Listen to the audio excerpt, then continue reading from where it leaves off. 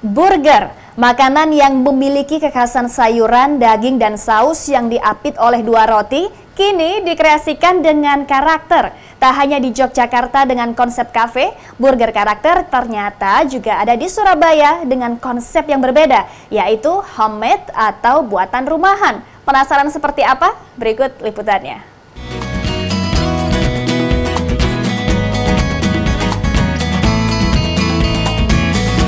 Wajah burger kini tak hanya coklat dan bertoping wijen.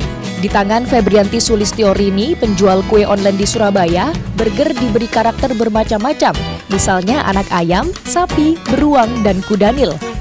Sebelumnya, ia telah membuat roti sobek manis. Karena permintaan konsumen, ia kemudian membuat burger. Pada dasarnya, teknik yang digunakan sama.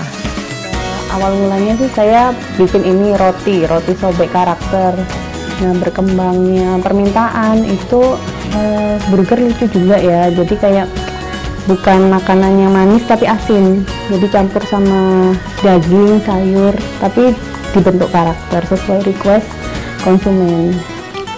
Bahan utama burger karakter seperti ban atau roti dan patty atau daging sapi merupakan buatan Febri sendiri. Adonan kemudian ditimbang, diberi warna dan dibentuk dalam loyang. Bagian ini merupakan proses yang paling sulit karena dibutuhkan ketelitian dan kecepatan sebelum adonan mengembang dan untuk menghasilkan karakter yang sempurna. Adonan harus segera di oven dalam suhu 150 derajat Celcius selama sekitar 20 menit. Setelah matang, dihias dengan edible pen atau ballpoint pewarna yang bisa dikonsumsi. Roti kemudian dipotong dan disusun dengan selada, tomat, bawang bombay, mayonaise, keju, dan daging.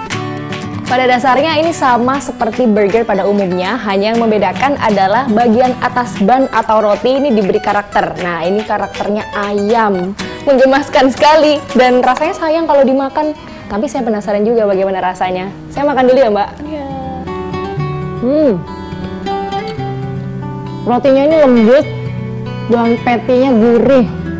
Ini semuanya homemade alias buatan sendiri nih. Harga burger karakter milik Febrianti Rp25.000 dengan pemesanan minimal 25 pack.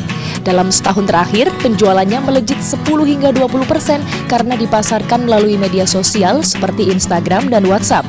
Untuk menyiasati persaingan bisnis kuliner, Febrianti mengaku mengembangkan karakter burger dengan rajin mengikuti tren di media sosial serta mengembangkan isian burger yang lebih variatif.